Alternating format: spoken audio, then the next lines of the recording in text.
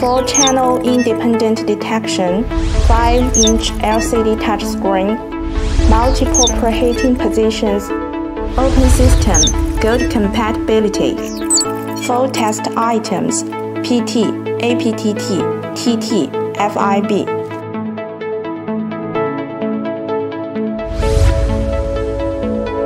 Product structure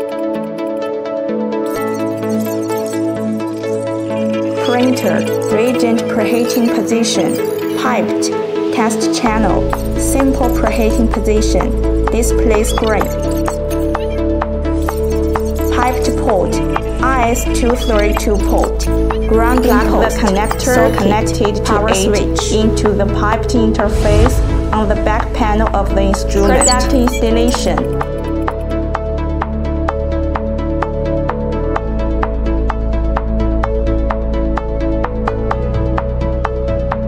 Connect the power and ground wire. Then start the basic operation of the product to ensure that the performance of the instrument is qualified. Basic operation. Power on. Preheat for 10 minutes and keep the temperature at 37 plus or minus 1 degree Celsius. Click Mirror Simple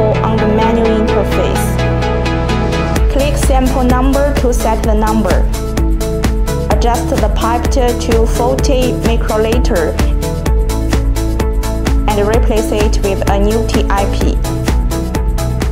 Using the online pipe to absorb the sample. Add it into the cuvette and then put it into the sample preheating position. After clicking T1, the sample starts to be preheated, and the device displays the countdown.